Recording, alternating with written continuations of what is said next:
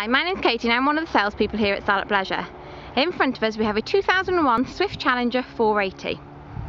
At the front of the caravan you've got a large locker area there for your gas bottles and the caravan has been built on an AL-KO chassis.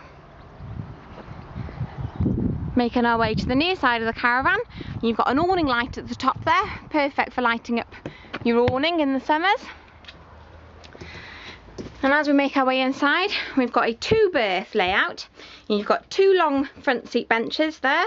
Now they can be slept as two singles and can be made up into a large double bed. Plenty of overhead storage lockers. And you've got a large Heki roof light there which brings in lots of light to the living area. Into the kitchen area, we've got a large sink there with draining board.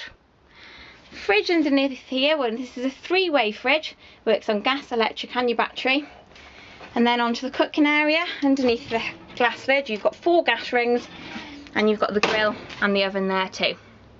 Now opposite the kitchen area you've got plenty of work surface. You've got your blown air heating system at the bottom there. Now this works on gas and electric and you've got your TV aerial there too.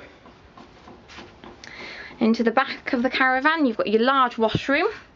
You've got the cassette toilet there with an electric flush. Mirror above here and a large circular shaped shower there too. Plenty of space in there and plenty of space for a changing room too.